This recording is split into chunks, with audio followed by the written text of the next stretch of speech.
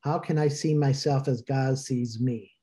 And I just listed a couple of those attributes that I believe that gives me an indication of how God sees me. And of course, holy, because if God is holy and he created us in his image as his likeness, we too shall become holy. And I say become, I believe we were holy as we were born into this world, but because of call it the atmosphere, well, the scripture says that even before we were born in our mother's womb, God knew me, God knew you.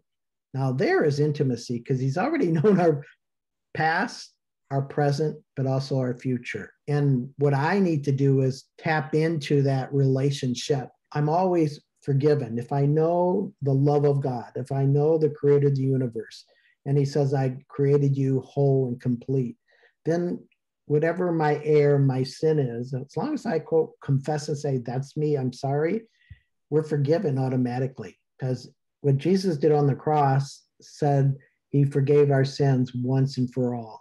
So, but we need to tap into the relationship in order to experience that. And these other attributes, the temple of the Holy Spirit, which is within us, wonderfully made, yes. I mean, uh, righteous, yes, of course. Co creator, healer, eternal. We're all eternal because we're born of the Spirit and beloved son and daughter, which I totally agree. I believe if we can put our focus on what God has already seen in us, that I think our light will become brighter. If I know that I'm a child of God and beloved, then to me, that's the starting point for, I call it my intimacy with my father, my mother, my creator, my f- best friend.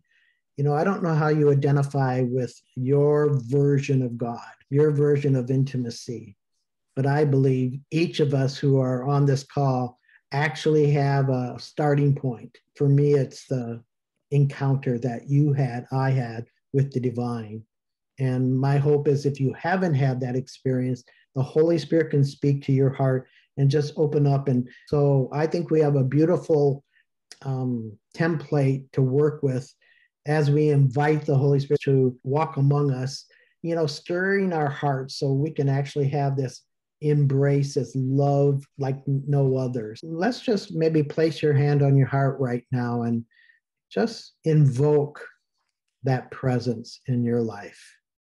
If you have not already experienced it, just say, Come, Holy Spirit, reveal the Father, the, the Divine Mother's love for me in this divine space of life and holy breath. Amen. We are both God's workers, and you are God's field. You are God's building. First Corinthians.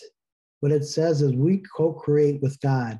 Sometimes I wait for God, God, do something. And God says, I already given you the tools. I already given you the finances. I already given you the, the people that you need to work things out in order to fulfill a thought, a promise that I was given.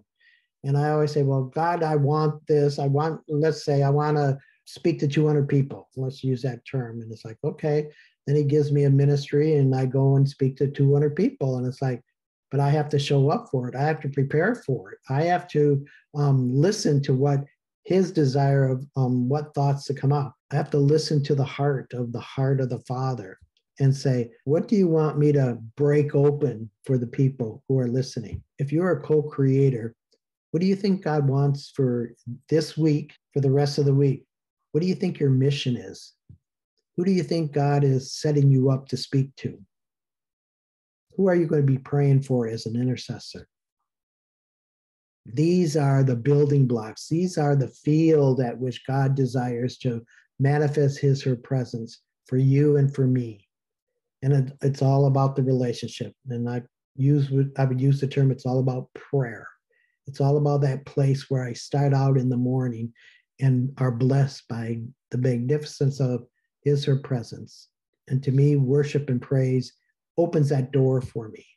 And then I just get to celebrate God's presence throughout the day, tapping into his her Padre, are you there? Are you listening? And you know, the the opportunity of serving is so beautiful because um, when people get touched by how the Holy Spirit connects opportunities, places we've been, and you know that God is speaking through that one. And God wants to continue to bless you, me, all of us. Don't forget, you're fearfully and wonderfully made in God. And I'm wondering, what promise, what do you desire from maybe it's a child, maybe it's your husband, your wife, maybe a friend, a coworker that you want what to hear from them. I think the Holy Spirit is on to that. And as we just pause and just reflect on that, I think the Holy Spirit wants to answer that prayer.